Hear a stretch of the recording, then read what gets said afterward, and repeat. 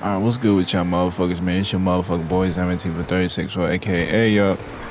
And I just want to tell you guys um, a quick video. Um, I don't know what's going on. Am I tripping or something? Or this ever happened to y'all? But I just got in my agency.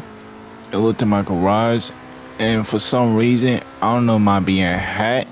I guess I am because how do I know? Well, when my motherfucking garage in the agency and looks like one of my cars is missing. So I have this fucking SUV. It called um a Rancher XL. Y'all know I had that dollar sign. If y'all look at my video of the um the garage tour on live, just like you know what I'm saying, type detail, you know all that shit, Zach, car tour. I mean um garage tour. I'll put the link in the description.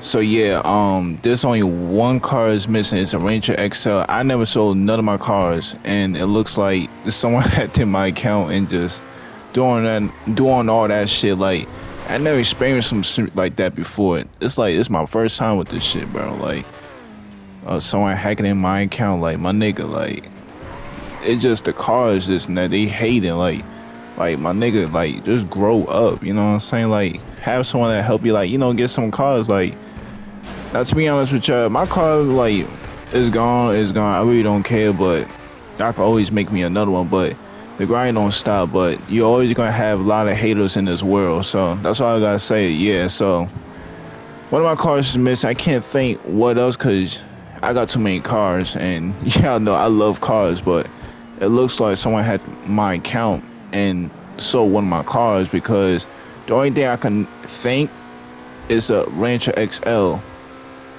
so it's a Ranger XL and the color is white and green. And they got a dollar sign which is Benny's.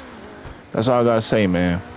But um I was gonna say you guys enjoyed the video, make sure you comment, like, subscribe. That ain't nothing really, but I'm just letting y'all know. But if it happens to y'all, just comment down below and shit. Just say RIP to Ranger XL.